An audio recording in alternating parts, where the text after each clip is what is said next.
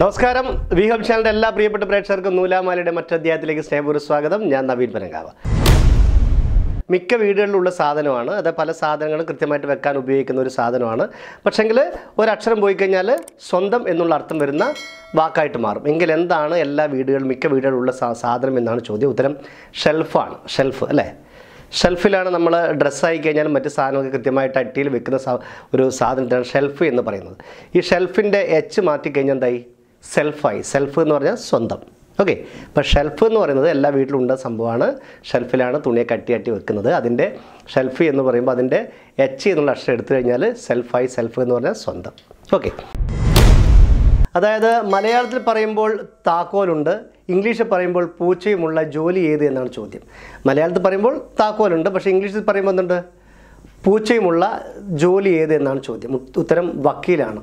വക്കീൽ എന്ന് നമ്മൾ മലയാളത്തിൽ പറയുമ്പോൾ എന്താ വക്കീൽ എന്ന് പറയുമ്പോൾ ഒരു കീ ഉണ്ട്. കീ എന്ന് പറഞ്ഞാൽ താക്കോൽ അത് നേരെ ഇംഗ്ലീഷിലേക്ക് മാറ്റിയാൽ അഡ്വക്കേറ്റ് അഡ്വക്കേറ്റ് എന്ന് പറയുമ്പോൾ ലാസ്റ്റ് സി എ ടി കാറ്റ് എന്ന് പറയുന്ന സംഭവം വരും. വക്കീലിൽ കീ എന്ന് പറയുന്ന താക്കോൽ അഡ്വക്കേറ്റായി മാറുമ്പം അഡ്വക്കേറ്റ് എന്ന് പറയുമ്പോൾ ലാസ്റ്റ് കാറ്റ് അത് പൂച്ച എന്നുള്ള അർത്ഥവും വരുന്നുണ്ട്. അങ്ങനെയുള്ളത് മലയാളത്തിൽ പറയുമ്പോൾ താക്കോലും ഇംഗ്ലീഷ് പറയുമ്പോൾ പൂച്ചയുള്ള ജോലിയാണ് അഡ്വക്കേറ്റ് ആൻഡ് വക്കീൽ. ഓക്കെ നമ്മൾ അതായത് നമ്മളിപ്പോൾ ഒരു കുട്ടി താഴെ നിൽക്കുകയാണെങ്കിൽ ആ കുട്ടിയെ മുകളിൽ എത്തിക്കണമെങ്കിൽ നമ്മൾ എടുത്തുകൊണ്ട് പോകണം അല്ലേ? ഇല്ല നമ്മൾ താഴെയുള്ള നമ്മൾ മുകളിലോട്ട് പോകണമെങ്കിൽ നമ്മൾ നടന്ന് തന്നെ മുകളിലോട്ട് കയറി പോകണം അല്ലേ?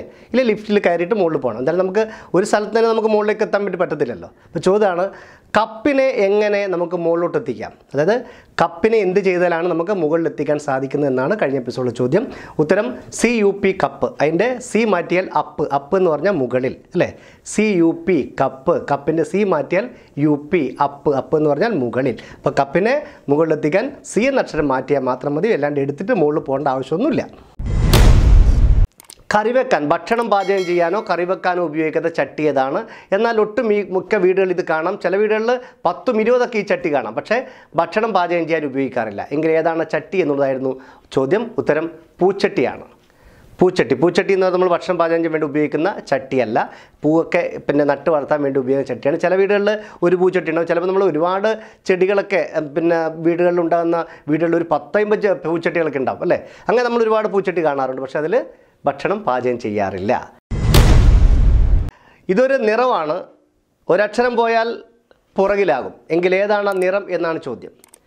ഇതൊരു നിറമാണ് നിറത്തിന്റെ ഒരക്ഷരം പോലെ ഇത് പുറകിലാകുമെങ്കിൽ ഏതാണ് നിറം എന്നാണ് ഉത്തരം. നിറം ബ്ലാക്ക് ആണ് black B L A C K black അതിന്റെ എല്ല് പോയി കഴിഞ്ഞാൽ ബി എസ് സി കെ ബാക്കായിട്ട് മാറും. അതായത് ബ്ലാക്കിലെ എല്ല് പോയി കഴിഞ്ഞാൽ ബാക്കായി അപ്പം ബ്ലാക്കിനെ എങ്ങനെ ബാക്കിലാക്കാം അതിന്റെ എല്ല് മാറ്റിയാൽ ബ്ലാക്കിനെ ബാക്കിലാക്കാം ഒക്കെ മനസ്സിലായല്ലോ? അപ്പോൾ ഇന്നത്തെ പൂർണമാകുന്നു. വീണ്ടും നമുക്ക് അടുത്ത എപ്പിസോഡിൽ കാണാം.